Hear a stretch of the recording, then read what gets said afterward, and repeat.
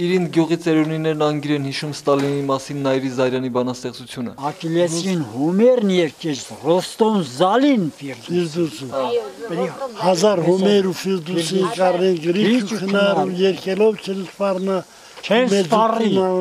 Գյուղացիները պատճառ ունեն. Ստալինը խնայեց Ավետիք Իսահակյանին, որը 40-ականներին այս գյուղի ամենացանկալի հյուրն էր։ Մեր գյուղների դաճա։ Ուրիշներ չի կնացի։ Այս կինը փոքրիկ աղջիկ է եղել, տեսել է Ավետիք Իսահակյանին, առ այսօր չի հասկանում, ինչու բանաստեղծը թողեց գեղեցիկ Վենետիկն ու եկավ Հայաստան։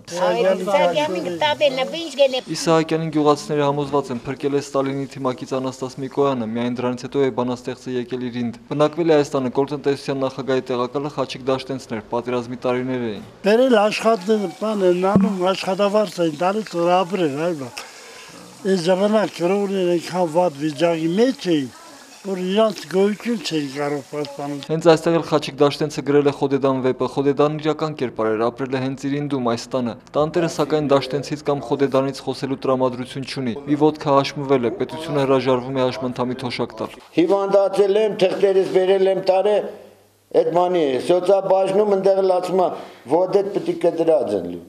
Հեացի կդրի։ Գյուղի մշակույթի տան դիմաց այսօր կանգնեցված է Խաչիկ Դաշտենցի համեստ ու շարժանը, գյուղ մտնողն այն այնքան էլ հեշտ չի գտնի։ Աչնայող այս արծվի թևը հենց Դաշտենցի կիսանդրու ուղությունն է ցույց տալիս։ Մյուս թևը ցույց է տալիս արևմտյան Հայաստանը։